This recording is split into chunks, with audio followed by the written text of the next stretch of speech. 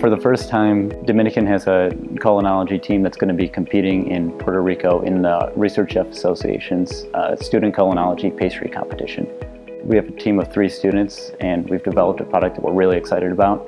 The competition was to create a dessert that was frozen and you can find it in a grocery store that you will heat up in the microwave and serve warm. That you can also find in a fine dining restaurant.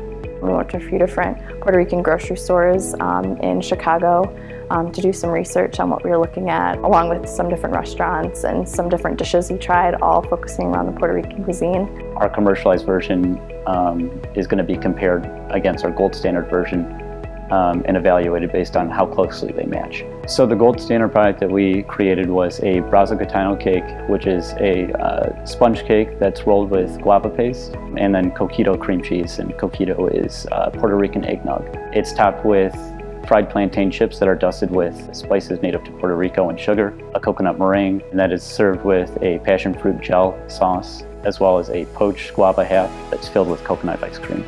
And we tweaked it about 20 times to try to create the best product, to balance the sugar content, balance the flavors of all the spices, and to make sure that all the flavors work together.